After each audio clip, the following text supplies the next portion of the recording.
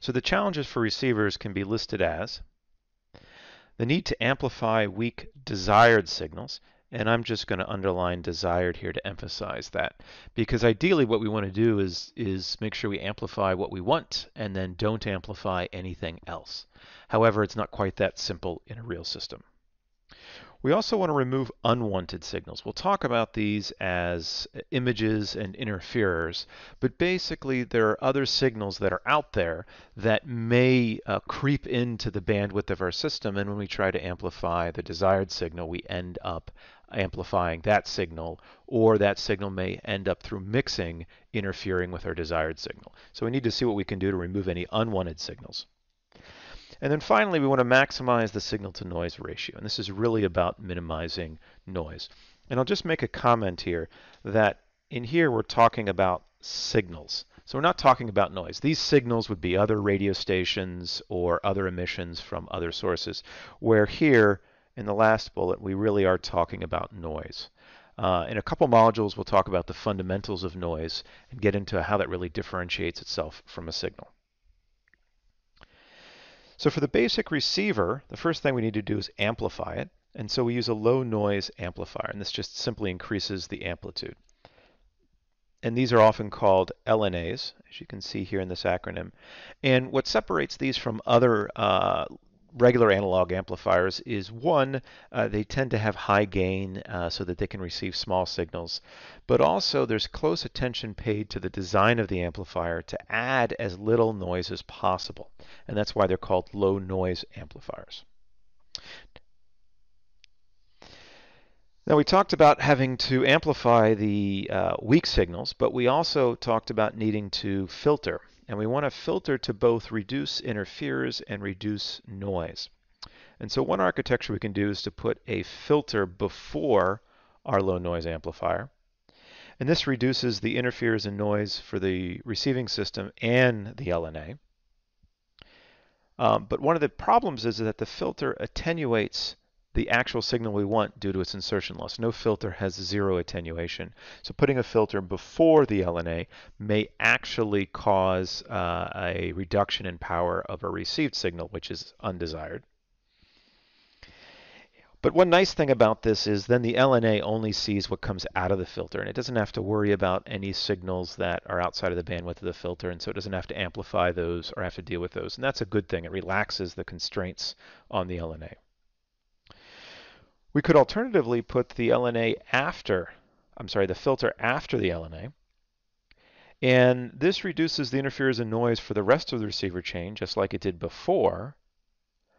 Um, and it also removes that problem of insertion loss because now the filter is after the LNA, and so uh, the LNA sees the absolute maximum it can of the in, incoming signal. But the problem is, is now the LNA has to deal with all uh, incoming signals, and so it puts a little bit more of a challenge on the LNA to uh, have to deal with these. And, and some of the problems that could occur would be a very large interferer may saturate the LNA, uh, even though you have a weak signal you're trying to receive. So there's trade-offs in putting the filter before or after the LNA. And I'll just make a comment here. In this cartoon, I've used LPF for low-pass filter. Um, this could just as easily be a bandpass filter. So there's no, no, no nothing specific with that. Let's talk now about some of the basic types of receivers we can have. And uh, I've drawn a generic system here where uh, I've just, um, out of choice, put the filter before the LNA. We've got our amplifier. And the question is, how do we receive the signal? So let's talk about some of the different filter. So let's talk about some of the different receiver types. We'll talk in the next couple modules about no conversion receivers, which involve maybe just a rectifier or an analog to digital converter. There's also direct conversion, our homodyne receivers. And then we can have receivers with an intermediate conversion frequency, which are called heterodyne.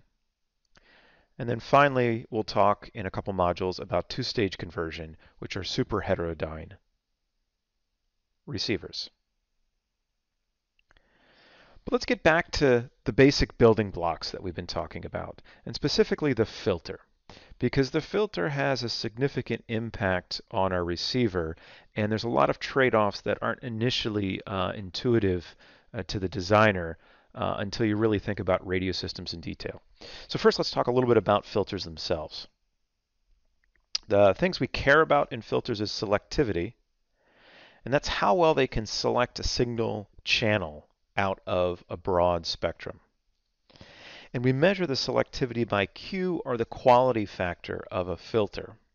And this relates to if you've dealt with RLC circuits and you've talked about the Q of a tank. Uh, the two are related because a RLC uh, tank uh, is in itself a filter. And so we'll see in a second how they're related. The other thing that we talk about is insertion loss. And as I mentioned before, any practical filter is going to attenuate signals in its passband. So let's talk a little bit about this idea of quality factor for a filter. It's a quantitative measure of how much loss the filter exhibits. A lower quality factor indicates more loss, not surprising.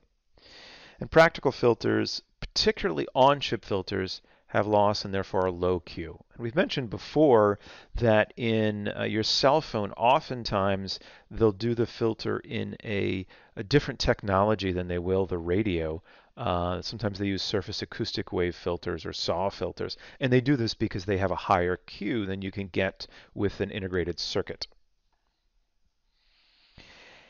And you can show that the quality factor is inversely proportional to the fractional bandwidth of the filter, and that's what we've talked about earlier. And if you remember, we talk about the fractional bandwidth as just being the bandwidth divided by the center frequency. And Q, if you recall, is just the center frequency divided by the bandwidth. So you can see they're just inverses of one another. And so in order to have a small bandwidth at a high center frequency, it's important that your filter has a high Q. And so this is just a general comment about needing high quality filters for radio systems. And ultimately, particularly in your cell phone, the uh, quality factor of the filters is a dominating uh, performance parameter uh, that is a big trade-off that system designers have to deal with. And there's several reasons why we want these high Q filters or narrow bandwidth filters. And uh, one of them is channel selection. And so we've learned that most communication systems divide the frequency band into several narrower channels. And so we want the uh, receiver to be able to select the specific channel that they'd like. And you can see down here in the bottom, I have a cartoon of a band with multiple channels, and we'd like to select one single channel out of that. Now, uh, I'll just make a comment here that it would be nice if we had a really high Q filter that we could tune. But not only are practical filters pretty low in Q, uh, they're also very hard to tune. And as we mentioned, we need a sharp response, and tunable would be ideal, but I'll just give you a look ahead. What we're going to do is instead of trying to tune the filter, we're going to use a mixer to move the signal around so that only the signal we want falls in the filter bandwidth. So we overcome the tunability problem by changing the intermediate frequency. We'll talk about that later.